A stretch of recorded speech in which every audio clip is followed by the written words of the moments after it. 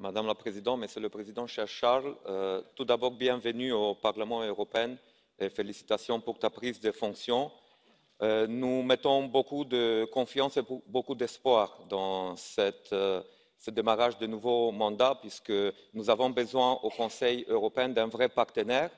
d'un vrai partenaire qui apporte des thèmes, des sujets européens pour qu'on puisse y avancer. Le message de la part des citoyens lors de ces dernières élections européennes était très clair. Maintenant, c'est à nous de le mettre en œuvre et j'en suis sûr que toi, avec la vision, ta capacité de négociation,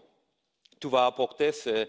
euh, nouveaux sens, ces nouveaux euh, vents dont nous avons euh, besoin pour pouvoir y avancer ensemble.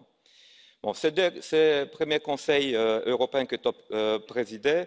a apporté de bonnes nouvelles avec l'engagement pour concernant le climat à l'horizon 2050, mais on sent qu'au Conseil, euh, il y a des États membres qui restent encore sur leur faim et que la détermination n'est pas encore suffisante pour qu'on puisse avancer et mettre en œuvre cet objectif. Puisqu'il est très bien d'avoir des objectifs, et, ça c'est déjà un pas en avant, mais il nous faut maintenant pouvoir le mettre en œuvre. Et là, euh, il y a une tâche importante euh, que la Commission a de venir avec des propositions. Euh, nous avons besoin de donner le courage aux États membres d'assumer cette responsabilité, de faire ce pas en, avant. Et il est clair que nous devons euh, transformer cette, euh, ce projet climatique dans une opportunité et que les États membres, même s'il y a des États membres qui démarrent des points de départ différents, qui comprennent que cette lutte contre le changement climatique est une vraie opportunité. Et pour que cela euh, soit très clair, cela doit être traduit au sein euh, de perspectives budgétaires, de cadre financier pluriannuel qui doit être un vrai instrument pour pouvoir livrer des résultats sur les projets climatiques, mais aussi sur la transformation digitale et sur tous les autres objectifs. Et là, euh, sur la manière dont le cadre financier pluriannuel peut être un, un vrai instrument européen et non seulement une négociation entre les États membres de combien euh, gagnent certains et combien perd euh, l'autre. Là, il y a encore euh, du travail à faire. Et,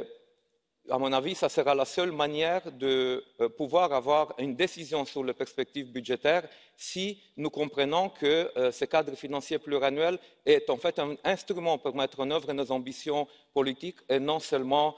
une place de négociation, de marchandage entre qui gagne et qui perd. Sur les perspectives budgétaires,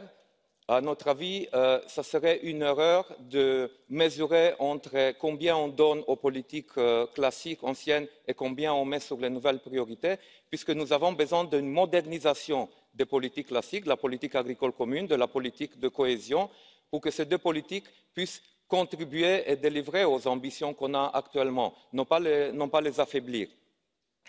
Et, euh, le parlement c'est dans cette direction que, euh, ira également euh, on soutient fortement un budget européen fort non seulement avec la contribution des états membres mais on doit faire des pas en avant très clairs sur les ressources propres parce qu'autrement euh, on n'en finira pas de parler d'un budget européen mais qui en fait est à la main des états membres qui négocient entre qui gagnent qui perdent. c'est pour cela que les ressources propres c'est une première étape pour euh, avoir un vrai budget européen construit autour des, perspectives euh, et des objectifs euh, européens. Et un dernier mot sur le euh, Brexit. We regret the results of the election in UK, but now at least we have more clarity about what will happen and the Parliament will assume his responsibility but i uh, also would like to use this opportunity to thank to our colleagues for their belief in this european project.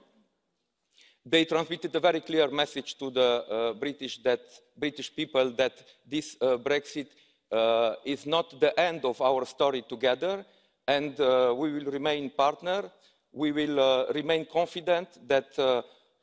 all the british who really believe in a european project uh, will stay together with us and we will find the right way to collaborate and to work uh, together. Thank you to Michel Barnier and thank you to Guy Verhofstadt for what they did uh, for these negotiations and uh, we uh, still have things to be done uh, in order to have a strong agreement with our uh, neighbours. Thank you very much.